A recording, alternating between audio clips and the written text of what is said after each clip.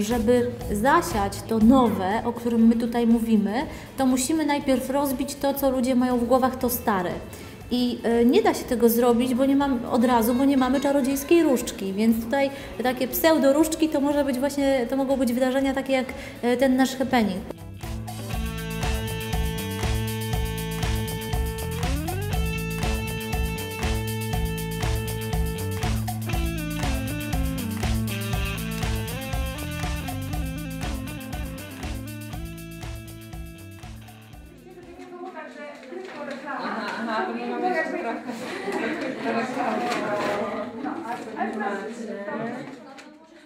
Wchodzę do kina, no i patrzę, jest y, toaleta damska, na której jest y, seksowna Marilyn Monroe, jest toaleta męska, na której jest no, super komik y, Chaplin, Charlie Chaplin, y, a na toalecie trzeciej obok, która jest dla osób z niepełnosprawnością, są w ogóle jakieś takie maziaje, jakieś takie kreski, w ogóle nic konkretnego. Ja tak w ogóle stoję i tak...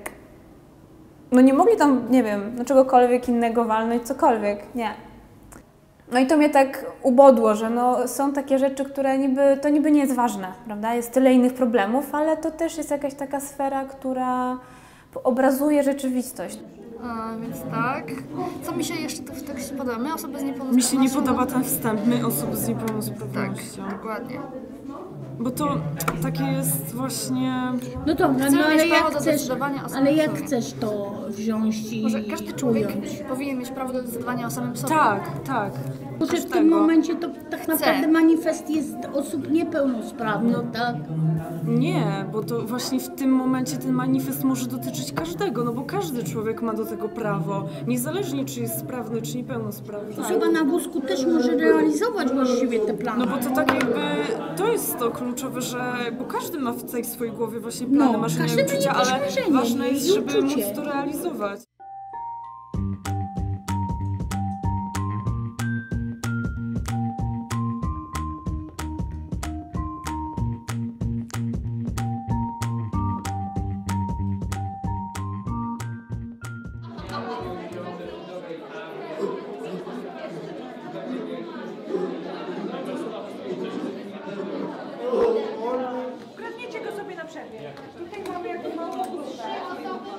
Zaprosiłyśmy młodych ludzi z, niepełnosprawnością i bez do tego, żeby napisali o swoich problemach, e, o swoim dniu codziennym, o tym, jak funkcjonują w swoich małych społecznościach. Wszyscy tak naprawdę mogą osiągać swoje cele, mogą być szczęśliwi, mają swoje porażki, swoje sukcesy, ale bycie osobą z niepełnosprawnością czy bez nie jest tu czynnikiem decydującym.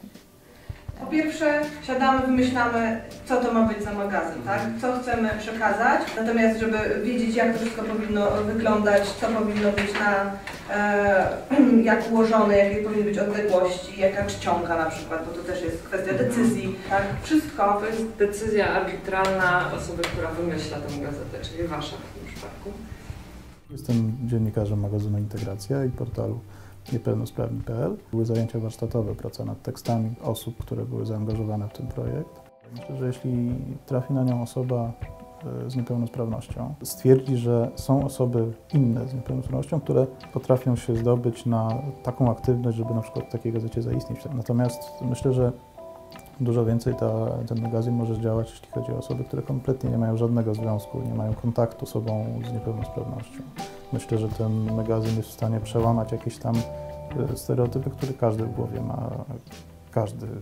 Ponieważ e, tematyka osób z niepełnosprawnością jest tak szeroka, e, to e, chciałyśmy pokazać różnorodne aspekty. E, Zaprosiłyśmy e, prawników, e, zaprosiłyśmy psychologów, byli też obecni dziennikarze i zajmujący się tematyką osób z niepełnosprawnością i dziennikarze spoza tego nurtu. Pierwszy gazet przeze mnie wspomniany, czyli właśnie ta ustawa o ochronie czystości rasowej jest napisany przez pana e, Ernsta Rudina w lipcu 1933 roku. Ustawa o ochronie przed potomstwem dziedzicznie chorym. Traktowanie osób niepełnosprawnych przez społeczeństwo, polityków e, jest papierkiem lakmusowym, jest jakimś miernikiem e, tego, w którą stronę zmierza dane państwo. Naprawdę no, na nas ciąży odpowiedzialność, żeby w razie czego oponować. I lepiej to zrobić wcześniej niż później czasami. Czasami wydaje mi się, że lepiej przesadzić i zrobić coś za wcześnie, niż zrobić coś za późno. Czasami dużo ważniejsza jest kwestia jakby uprzedzania rzeczywistości, nawet jeżeli większość ludzi jeszcze tego nie rozumie.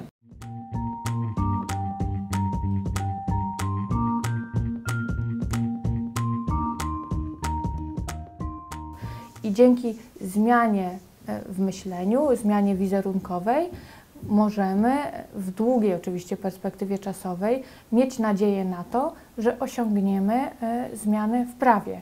A te zmiany w prawie z kolei będą miały konkretne przełożenie na jakość życia każdej z osób z niepełnosprawnością. I w związku z tym, dlatego postulujemy o ratyfikację przez Polskę konwencji e, ONZ-owskiej e, dotyczącej praw osób z niepełnosprawnością.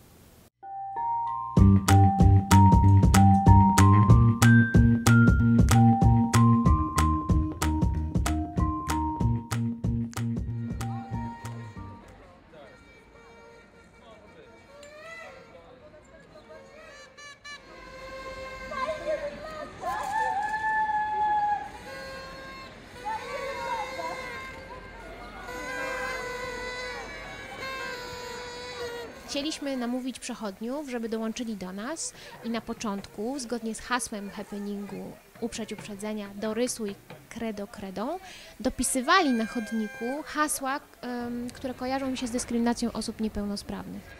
Dlaczego na chodniku?